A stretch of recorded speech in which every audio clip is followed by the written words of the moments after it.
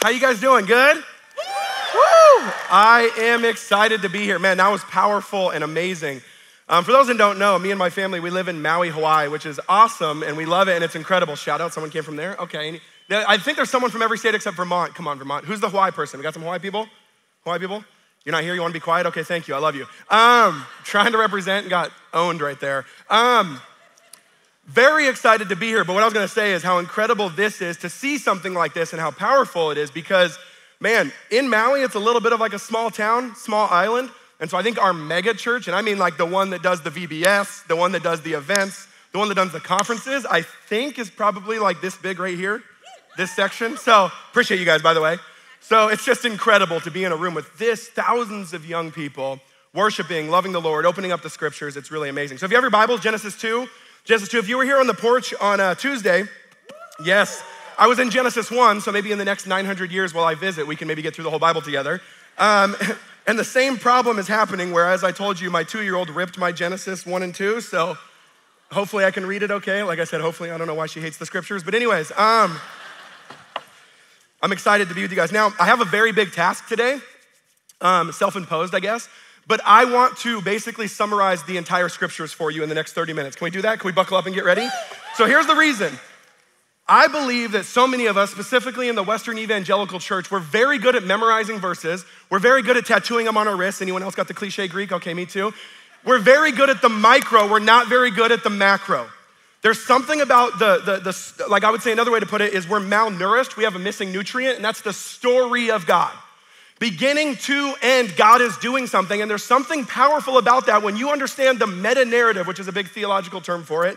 When you understand that, I think it does something deeply to you and your walk and how you live in your city, how you treat money, how you're in relationships. There's something about the big story of God that is deeply compelling, and we can find ourselves in it, but we have to understand it. So I'm gonna try to just blaze through that, try to trace some big benchmarks, and we'll go from there. Now, I'm gonna, I'm gonna do this with one question okay? And I'm gonna try to trace this big story with one question or one premise.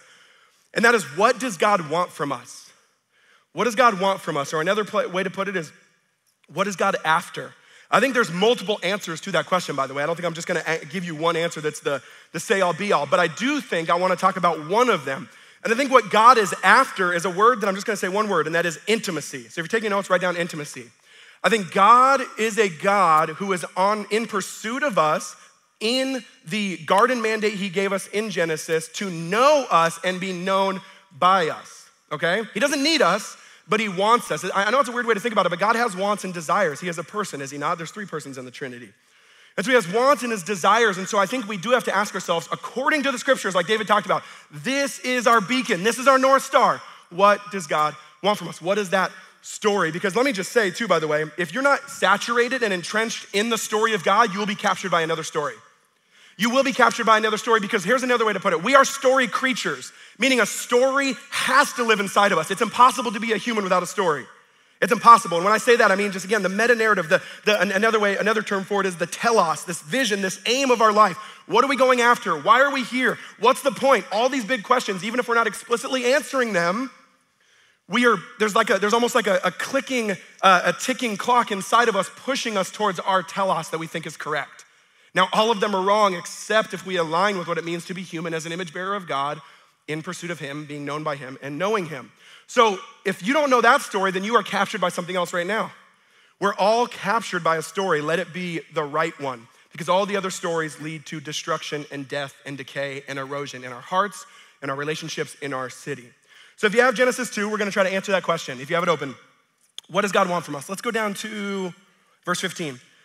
The Lord God took the man and he put him in the Garden of Eden to work it and to keep it. Oh, how'd you guys do that so fast? I didn't even tell you I was gonna read this text. You guys are amazing. Okay. Watermark production is like ninjas, are they not? Like, it's like, guys, like, how'd you do that? Okay. And, and it's all fancy. Oh, man. And the Lord, okay, where was I? Verse 16. Okay, like I said, we don't see this where I'm from. Okay.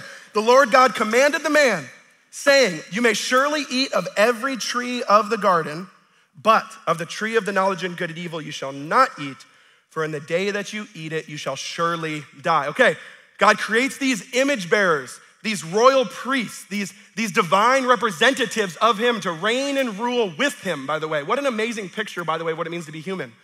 You're called to reign and rule alongside the creator of the universe, and he has said that so.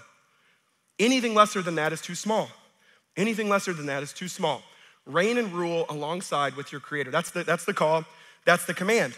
And while he sets them in to do this job, he kind of gives them a couple little rules, a couple little um, pointers. And he says, Everything in this garden is yours, which, by the way, it takes a little Hebrew to unpack this, but when it says, You may surely eat of everything in the garden, that word eat in Hebrew is like redundant. It's actually almost saying it twice. It's like saying, You shall eat, eat, eat, eat. Like basically, he's just saying, Everything is yours. But when he says, You should not touch the tree of the knowledge of good and evil, that's singular. By the way, do we not reverse that in our vision of God a lot of times? God's always saying, No, no, no, no, no, maybe a little yes. Do you have the right picture of God informed by the scriptures? Because according to this God, he is saying it's all yours. You can even go in Luke 15 when, this, when the father is trying to play the picture of God as well, and he says, Everything that is mine is what? Yours. Do you have a stingy, crappy view of God? Can I say crappy in Dallas? Too late. Okay. Um, trying to, you know, cultural context. Okay. Do you have a stingy, terrible, small view of God, or do you have a God who is lavish, who wants you to eat, who wants you to delight, who wants you to celebrate, with restrictions, by the way. I'm not saying those aren't in there, that's obviously there, like we just read. Within his boundaries, within his markers, within how he's lined it up to work, he wants you to delight and celebrate and be blessed in his goodness. That's why it's so amazing to follow Jesus, because he actually wants to fill us with the most joy, and it's only possible through him. But let's look at that command. You may surely eat of every tree of the garden of, the, of evil, or garden of Eden, but you may surely not eat of the tree of the knowledge of good and evil. Okay, now back up. So they were just given a very big job to do, right? Go create and subdue and reign and rule with God. One little pro tip here is a lot of us, we think we read Genesis and we think the whole earth was just like perfect and beautiful and amazing. That's not really what the story is trying to say. The story is almost like a prototype was created. God created this little pocket called the Garden of Eden. He created order out of chaos. He created beauty. He created goodness. He puts the image bearers in it. And then he says, Look around. Now go make the rest of the world look like this. Are you tracking? That was the job. The job was hey, here's a prototype, pay attention, now go make everything else look like this. We're still doing that job today, are we not? Again, to go subdue, to reign, and rule. So he gives them that job. Now, can we just agree that's a semi big job? Go make the rest of the world look like Eden? So I don't know about you, but this command seems a little strange to me because when I read that, what's one thing you would probably need to go do a job that massive? What? It's not a trick question. We just read it. You'd probably need the knowledge of good and evil, right? Or another way to put it is you just probably need to know what's right and wrong. You would know how to, you need to know how to operate. But I remember growing up too in some church context, and I always heard this command, and I always thought it was like an eternal cat and mouse game. Anyone else? Or is God just kind of trying to bait and switch them? Is this kind of like, another way to put it is, my, I don't ever play God, by the way, it's, it never ends well in your brain. But when I was like, well, if I was God, right? This is me as like eight years old or something. I was like, well, if he didn't want him to touch the tree, then what's the obvious solution? Don't put it there. Don't put it there. Why is it there? Right? Unless, unless it's not arbitrary, it's actually for a reason. Might it be that that command from the very first page of scripture is God inviting us into intimacy, right? See, if they don't eat of that tree, if they don't eat of it, it's not a trick question, by the way, what do they not have in and of themselves? The knowledge of good and evil. Okay, so now if you're the humans tasked with this massive job, you don't in and of yourselves have the knowledge of good and evil, where are you going to find it? God, right? Anytime you're in a church setting, you ask the question, just say God or Jesus, you'll be right. And if you're not, then like you just like, well, I'm more holy. I said Jesus, okay? It's actually, it's not arbitrary. This command from page one is not arbitrary. It's God setting this tone or these two paths and inviting us to intimacy. It's God from page one saying, I want to walk with you.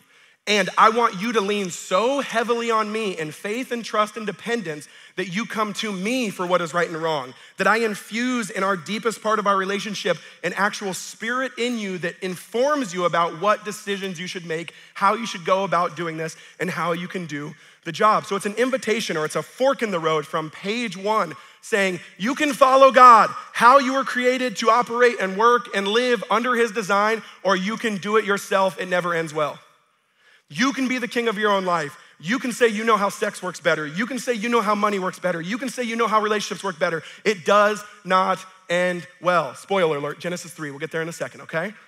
It does not end well, but it's a call to intimacy from page one. So I want us to start there and then we'll keep going, okay? So he invites him into this, this vision of I want you to be co creators and collaborators and laborers with me as your king underneath me, commissioned out to be image bearers, but don't touch this tree because I want it to be in relationship with you. I don't want you to be able to do it without me. But, uh, spoiler alert, did they eat or not eat? They ate. They ate of the tree of the knowledge of good and evil. And again, so many of us, that's the path maybe we're on right now. I know better. And some of us, we need a season to totally play that out, do we not? Some of us, we don't want to pay attention until that just ends in the dumps. Till that just ends in a place of us feeling so eroded, so corroded in our souls, so at a place of, man, this does not end well. But by the way, Jesus is there to meet you, is he not? Every time, every time. And so there's this invitation. They eat the tree, and then in a second, everything fractures. Their humanness, the, the world, their relationship with God, everything breaks. Sin is like a disease that comes in and breaks and fractures every part our relationship with God, our relationship to the earth, and our relationship to ourselves, and our relationship to each other. It breaks everything. Now, this is a fun little trivia for you. It says immediately after they, God kind of puts some curses and says some things and talks, you know, it gets a little serious. And then he kicks him out a particular direction in the garden. Do you know what direction that is? It's not a trick question. There's only four options, right? North, west, south, and east. Yes, anyone? It's a famous Steinbeck novel. I haven't read it. I went to public school, but I heard it's good. What is it? East. There we go. East of Eden. It says he kicks him out east. Now, why is this important? Because that's actually a breadcrumb that keeps going in the scriptures farther and farther down the road. The next chapter, Lot, I mean, sorry, Cain kills his brother Abel. What direction does it says he kicked him out? I mean, banished him. East, Lot departs from Abraham the minute they have a little bit of tension, and it's clearly he's the choice of disobedience in that story. What direction does he go? East, you get to Genesis 11, the peak story of all human pride and rebellion. We can, not, it's like the collective version of Genesis 3. We can do it on our own. We can build a tower to heaven. We can do it ourselves. And it says they migrated where? The East. It's as if east, according to the writer of Genesis, is almost this metaphor of this picture of what it looks to spiral downwards and away from intimacy with your creator, from the garden, from walking with him, from being with him. East, if we continue to make those choices, it just gets worse and worse and worse, and we keep going the same direction. Now, right after Tower of Babel, we meet a fun figure named who? Abram, Abram, and then Abraham. He takes up a lot more of the Bible, but he's one of these first figures where he gets called by God and he says yes to the relationship. He says yes to his way of how it's going to line up, and he trusts him. He has faith and dependency, which again is the heart of intimacy. And by the way, when it says he calls Abraham, what direction does Abraham go? West.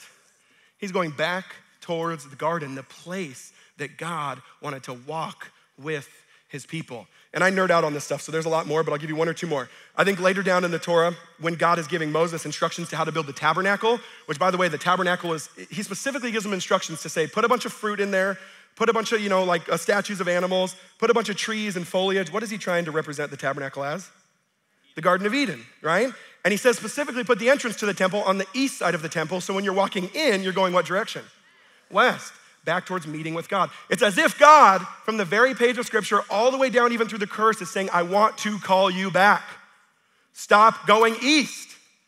Stop thinking you can do it on your own. He wants to call us back, and He's continually calling us back. And so, this first stage of the Bible is kind of what we talked about, and it goes all the way to the end of the first five books of the Bible, which is what we call the Torah. Can you guys say Torah? Torah. Torah. Or if you're really saying it Hebrew, you can kind of say it with a loogie, just don't spit on the person in front of you. Torah, you know, cough on someone, and especially now, that's dangerous. Okay. Um, whew, never mind, don't do that. Uh, the first five books of the Bible are kind of seen as this foundational, these, these, these pillars, documents to the, the people of Israel, to the community, both for ethics and government and politics, but also the way to live and sexuality. It was kind of this full encompassing this is how to live, this is how to be human for the early ancient Near East people of Israel okay? And the nation of God that God called them in that, in the, the promise of Abraham. Now, the Torah kind of has its own little thesis, right? What starts to show up later in the books is this common way that God begins to relate to his people in a particular covenant. It's the Mosaic covenant, right? And God, hundreds of times in, in the Torah, by the way, says this thing where he basically goes, uh, this is essentially me summarizing the, Torah, the, the Mosaic covenant. If you do X, I will what? Starts with a B. Bless you. And if you don't do X, I will do what? Starts with a C curse you. And so hundreds of times this kind of this, this formula almost starts to play out in Torah, where God is saying, if you live this way, if you do what I've asked you, if you live in this way, if you treat sexuality this way, money this way, etc., I will bless you. It'll go well for you. By the way, that's a fun phrase I'm saying to my kids a hundred times a day. If you do this, it'll go well for you. Please do not not do this, okay? And if you don't, I will curse you. Now, a curse, again, we think of that as some really something really serious. It's really serious, but it's it's it's you you will live with the ramifications of that decision. It will erode itself, right? It will not go well for you. Now, we hear the Mosaic covenant, and a lot of us, especially if we're in kind of a Western evangelical context, a lot of us cringe, right? Because that sounds just like super law, right? We're like, oh, that just sounds like, you know, no grace. It sounds like you got to earn your way to heaven, etc. No, we are certainly outside of that covenant, and I'm going to get to that, that in a minute. But can we just agree God would never give something to his people that was not for their good. Right? So, what's going on there? I think a lot of us, we fumble with the law. We don't know exactly what's going on. Um, what, I, what I would say is this, is it's actually not God arbitrarily, you know, not doing grace, but it's actually a way in which he's trying to relate to his people to lead them to intimacy. Okay? Now, I know that's hard to, hard to think about. I'll, I'll, an illustration I think about is um, all of us were raised on Torah obedience, were we not, early on? early on. Like, like so I, I, have a couple children, I think they're even here, they were here earlier.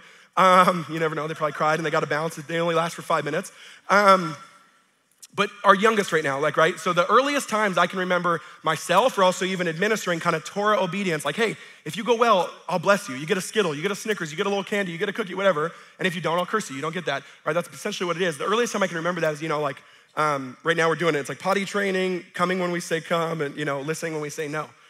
Now, that is actually meant to, that's normal and fine, meaning like that's actually normal at that age. But where it becomes weird is if Torah obedience is the point the whole time. Track with me here. So let's say Lucy, our two year old, that's fine and normal now to say, hey, if you go to the bathroom or if you go potty, you get a Skittle. Here you go, right? That's normal. And maybe if you're not a parent, you're like, that's still weird. Okay. Um, but let's say she's like, I don't know, 16 or something and coming home from a weekend or something with friends or something like that. We go, hey, little Lucy, if you go potty, I'll give you a Skittle. You'd be like, that's weird. That's weird. Now, did anything change that I said to her at two that I did at 16? No, that's the problem. That's the problem, right?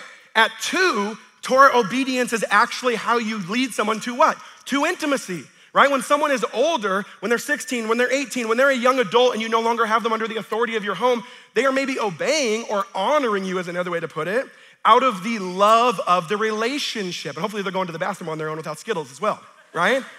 But whether it's just like honoring you and how they talk to you or whatever it is, Torah obedience is not there anymore. It's meant to push. It's, it's, like, it's like a push to intimacy. Are you tracking? That's actually why God started to get so upset at Israel because they just wanted to stay there. He's like, You're not getting the point. You're not getting the point. I want to take you farther. I want to take you deeper. I want to lead you to intimacy. And by the way, there's even little breadcrumbs in the Torah as well, where it's very obvious, even with Moses dying outside the promised land, that obviously, like, this mechanism cannot be the entire thing. Something greater has to happen. It's never, it never fully gets to the place of what it's trying to go for. And as it says later in the New Testament, it's not the problem with the law, it's the problem with us. We want to stay in it. We actually like it. We want to be two year olds forever. God wants to actually take you into full intimacy. So then you go from Torah to the rest of the Tanakh, which is another Hebrew word for the, rest of the scriptures, essentially. Okay? And then this is where it gets interesting. Because then you start to see all these books and all these writers start to wrestle with this dynamic problem we're kind of talking about right now. Which, by the way, can I just say, one of the things that really bothers me is when we read our Bible, we kind of read it flat. Like we read it like an instruction manual. Again, it's a story, it has an arc. The authors are talking to each other. They're wrestling with problems. They're wrestling with what's going on. They're wrestling with the tradition. So you get something like Psalm 51, where David just committed adultery and then had the guy murdered to cover it up. Decently sized sin, not like we're ranking him or anything, but pretty large. And in Psalm 51, it's his psalm of repentance. And what does he say? He gets down to the bottom of that psalm and he says, God, in his apology, in his repentance to God, if you wanted burnt offerings and sacrifices, Yahweh, I would give them to you. But what you truly want is what? Depending on your translation, a broken and contrite heart. Now that sounds cute, put it on a coffee cup, but why is that actually very weird? Why is that weird? God, if you wanted burnt offerings and sacrifices, I would give them to you. Why is that, why, like, why does that make no sense? That's exactly what God commanded. Is it not? Where? In the Torah. But it's as if David is a living human being who understands what? That the Torah is actually taking us and pushing us somewhere. And so, in this point in the story, he's realizing this problem of like, God, this is not ultimately what you want. This is meant to push to something greater. And what you truly want, is, he says it, a broken and contrite heart. It's almost saying, like, God, if you wanted Torah, I would give it to you. But what you truly want is intimacy. If you wanted Torah, I would give it to you, but what you want is intimacy. This is all over, by the way, in the rest of the Hebrew scriptures. Job, same thing. Job, the book of Job opens with him giving sacrifices for sins his children might commit in the future. Is anyone that holy? Not me. Like he's guessing what sins they'll give. And he's like, I'm just gonna be so Torah obedient, I'm gonna kind of get in the DeLorean, go in the future, you know what I mean? Back to the Future, shout out. Okay, uh, favorite movie of all time. Don't need to get into it, I nerd out. Anyways, the third one was sucked. Okay. Where was I at? Job, that's right, Job. So, Job, okay, so he starts giving, like, he starts sacrificing for sins his kids might commit. That's, that's the, what I'm trying to say is that's the epitome of Torah obedience. The epitome. But yet, through the trials, through the wrestling, through all of the, the, the, the boils and the diseases and all the hard stuff and deaths and just a brutal, suffering life, he starts to begin to realize what? Oh, God does not relate to me in Torah obedience. God is not trying to talk to me or commune with me in Torah obedience. And so you get to the end of the book, and it kind of has this Job prayer where he's kind of like reflecting again on everything that had just happened. And he says at the very end, he basically said, My whole life, God, I have what? I have heard you. I have heard of you. And then it goes into the next verse. But today, for the first time, I what? See you. Again, for my, my whole life, I've heard of you. I've heard of the rules. I've heard of the things. I've heard of all the Christian stuff I have to do. But for my first time in my life, through all of this, you have met me. You have met me. I see you. That's intimacy. God wants that for you. He wants that for you. He wants to meet you today. Whether you love the Lord now or you've never even become a Christian, today He wants to go deeper with you. He wants to go deeper with you. Micah 6 8, I'll read one last one for time's sake. Even my even Bible, by the way, like my subtitle on, the, on this text is even the question that we just asked in Genesis. Uh, you probably can't see this, but it says, What does the Lord require? That's, you know, not scripture because that's the, you know, the translators putting that there, but it's what does the Lord require? And then Micah 6 8, wrestling with this same problem, because it's a dynamic problem that they're trying to wrestle with. Man, this can't be it. Says this, verse 6, with what shall I come before the Lord and bow myself before God on high? Shall I come before him with burnt offerings, with calves a year old? Uh oh. Um, will the Lord be pleased with thousands of rams or with ten thousands of rivers of oil?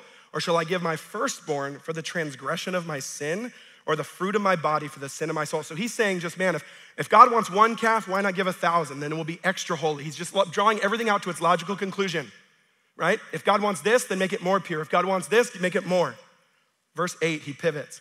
No, he has told you, oh man, what is truly good and what does the Lord require of you? But to do justice, love kindness, and walk humbly with your God.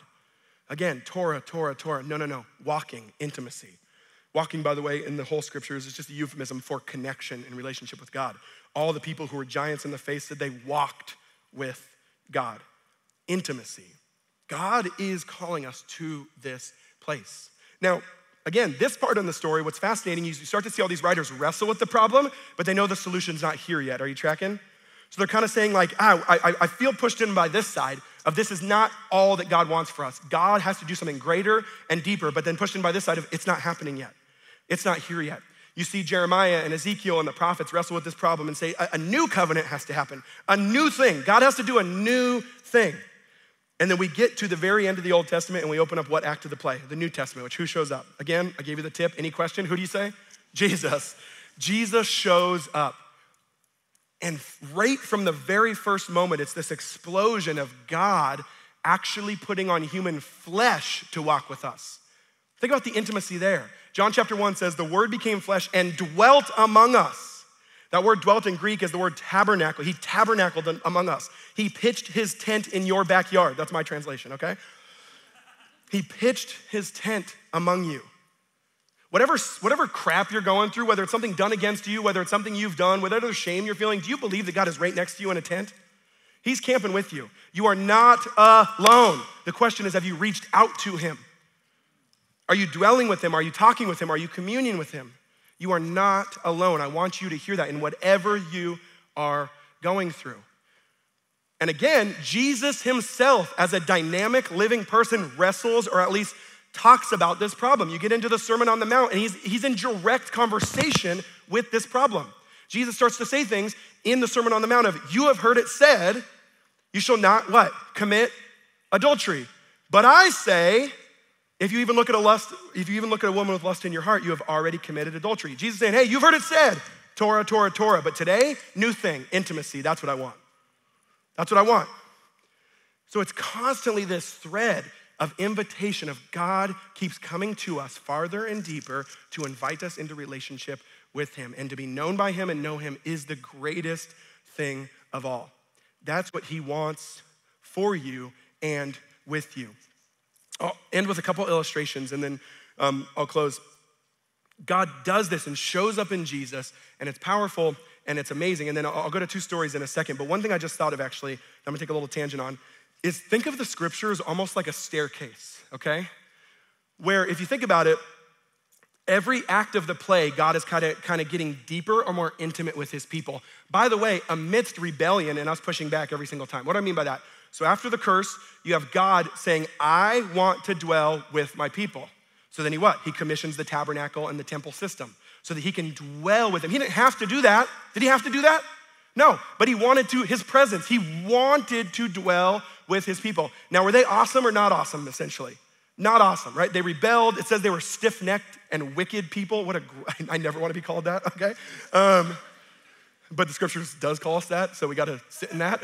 um, stiff necked and wicked people. God wants to be with them. And instead of them saying, oh, yes, this is so awesome, God, the creator of the universe, is making a way to dwell with us again.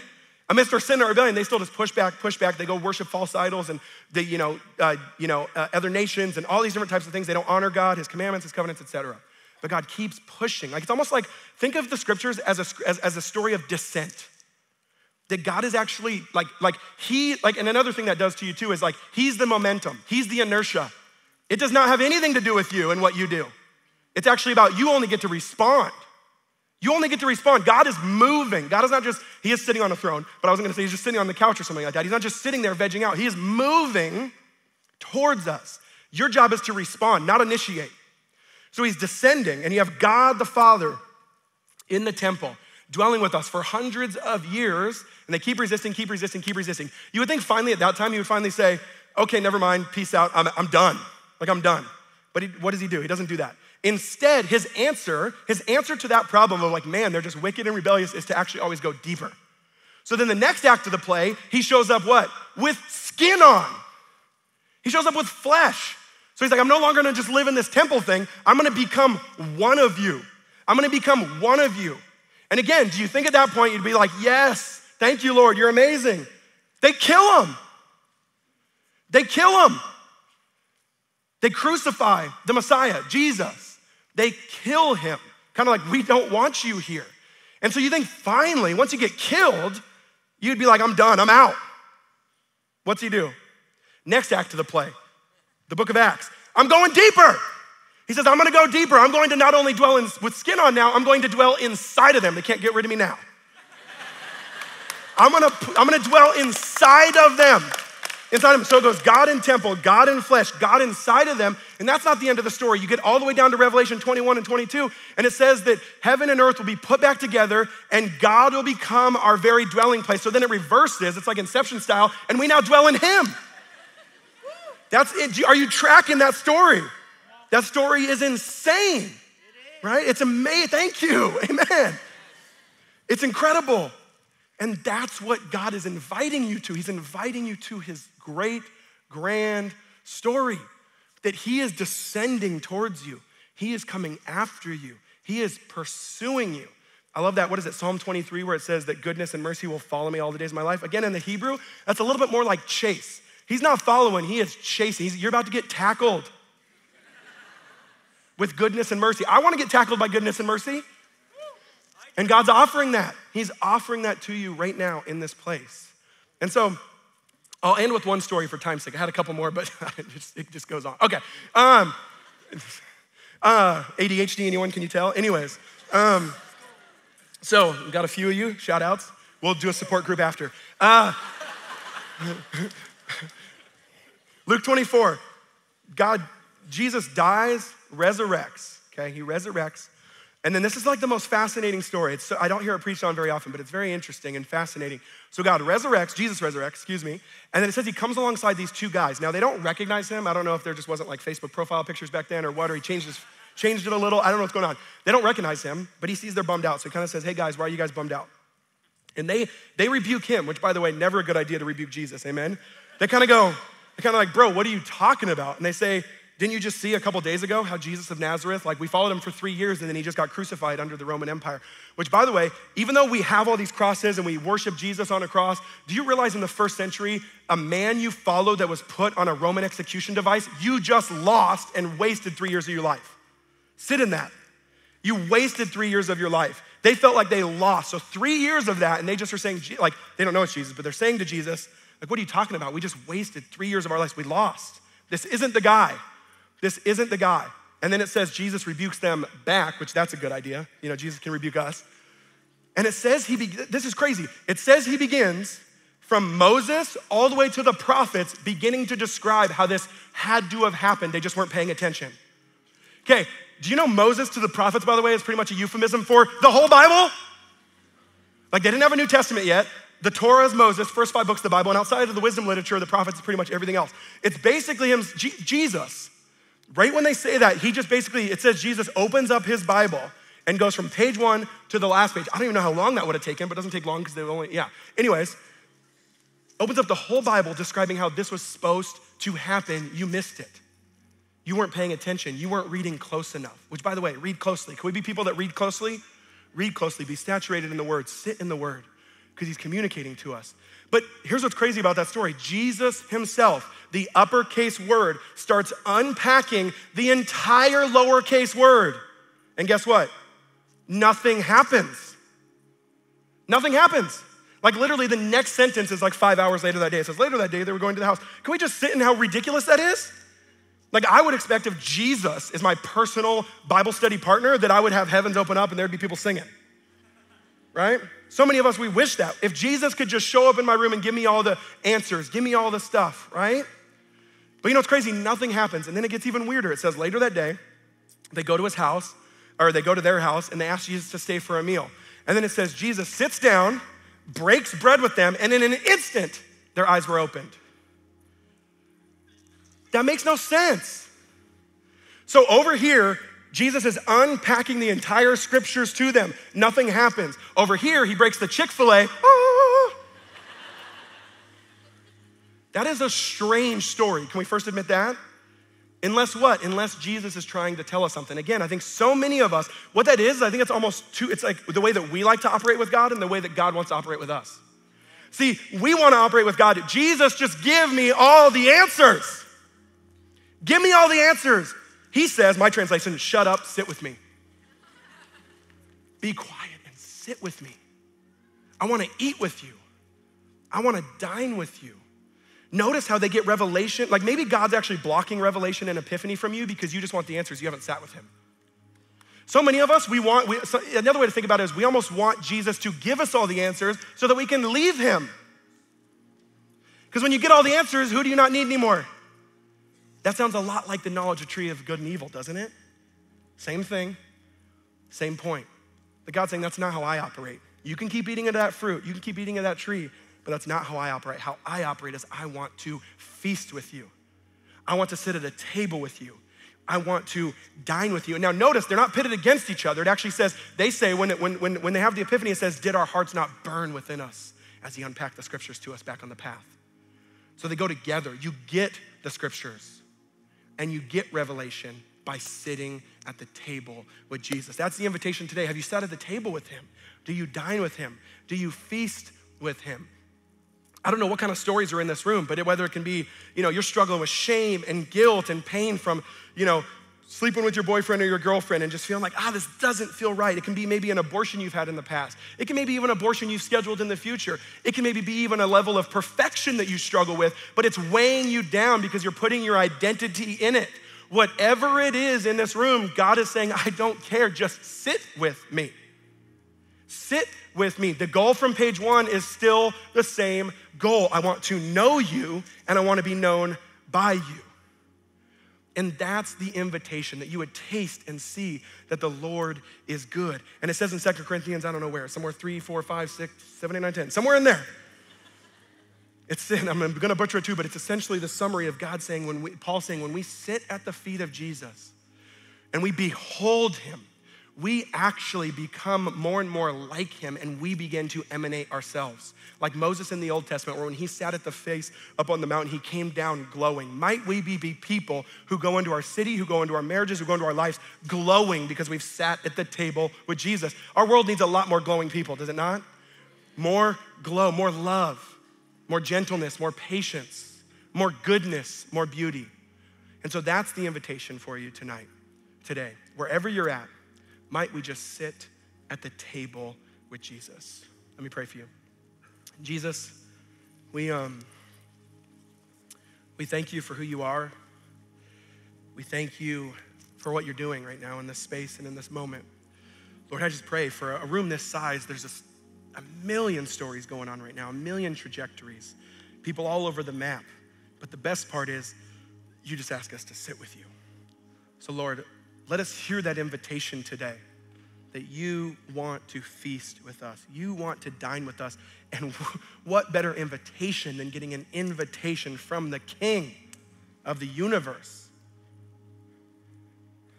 Let us be humbled by the fact that we have even said no to that invitation and how we've lived and how we've acted and how we've spoke. Lord, we thank you for who you are. I thank you for this room. And Lord, let us just be people that say yes every day every moment, every year.